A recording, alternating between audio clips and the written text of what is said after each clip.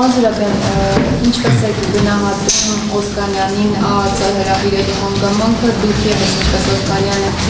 այդտեղ քաղաքական ենթատեքստ եք տեսնում եւ դա ինչպիսի սցենար է իշխանության կողմից, չգիտեմ, հիմնական նշում այն հանգամանքը, որ այս կերպ փաստորեն իշխանությունը փորձում է կասեցնել ՀԿ-ին կամ ՀԿ-ի նախագահի հավանական թեկնածին։ Եթե մենք ապրենք նորմալ դեմոկրատական օրինական պետությունում, սա կարող էր դիտարկվել նորմալ գործընթաց։ Այո, իրապահ մարմինները կարող են վերահսկել ՀԿ-ների, չգիտեմ, ֆինանսավորման օրինականությունը եւ օրենքով պատժել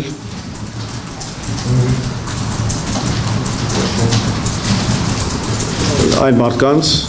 կամ կազմակերպություններին, որոնք խախտում են օրենքը։ Բայց քանի որ մենք ապրում ենք մի պետությունում, որի պատկերը մենք շատ լավ պատկերացնում ենք եւ ինքներս ներկայացրել ենք եւ ունենք նախադեպեր, ես չեմ զարմանա, որ պարզվի, որ այս ամենը իսկապես պայմանավորված է քաղաքական հետապնդումով։ Այսօր այսքանը։ Ազգային ժողովի այս չարաբաստիկ ընտրություններից հետո մենք գտնվում ենք նոր փուլում։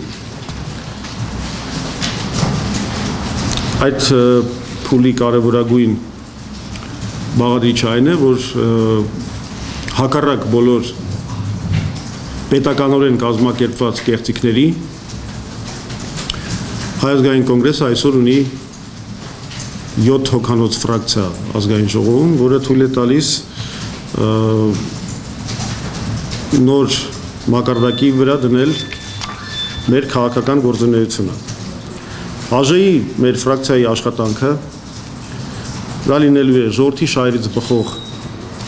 բազմաթիվ օրենսդրական նախաձեռնությունների ներկայացում, ինչը մենք կարողանանք անել միայն միայն սեպտեմբերից սկսած, որովհետև կանոնակարգի մասին օրենքը այդ հնարավորությունը թույլ չի տալիս ամառվա նստաշրջանում Մենք այնտեղ հանդես կգանք իշխանությունների կոռուպցիայի բացահայտումներով։ Մենք անխնա քննադատության կենթարկենք իշխանությունների գործողությունները։ Կառուցվածքային առումով կոնգրեսի կառույցները պետք է դառնան падգամավորական գրասենյակներ, որտեղ քաղաքացիները փնտրելու են իրենց օրինական շահերի պաշտպանությունը։ Այսինքն մենք պետք է հասնենք մի հանգրվանի, երբ որ ցանկացած քաղաքացի կարող է մտնել համապատասխան հայազգային կոնգրեսի համապատասխան գրասենյակ եւ իմանալ, որ իր բարձրացած հարցը, իր դիմումը հասնելու է ազգային ժողով։ Մենք չենք լինելու կլասիկ խորհրդարանական անդիմություն կամ կլասիկ խորհրդարանական քաղաքական ուժ։ Ինչու՞։ Պարզ մի բացատրություն ունի թե ինչու մենք այդպես չենք անելու եւ ինչու մենք շարունակելու ենք հանրահավաքները։ Եթե Հայաստանում անցնեին ազատ եւ արդար ընտրություններ, իսկ ես վստահ եմ, եթե այդպիսի իրողություն լիներ, իրեւ ես բոլորին այդ հարցը տալիս եմ, ասում եմ պատկերացրեք, որ Հայաստանում մայիսի 4-ին, 5-ին, 6-ին չի բաժանվել ընտրակաշարք եւ մարդկանց չեն ահաբեկել եւ չեն տարել չեն տարել ընտրատեղամասեր պարտադրանքով քվեարկելու։ Կարուսելներ չեն եղել։ Այդ դեպքում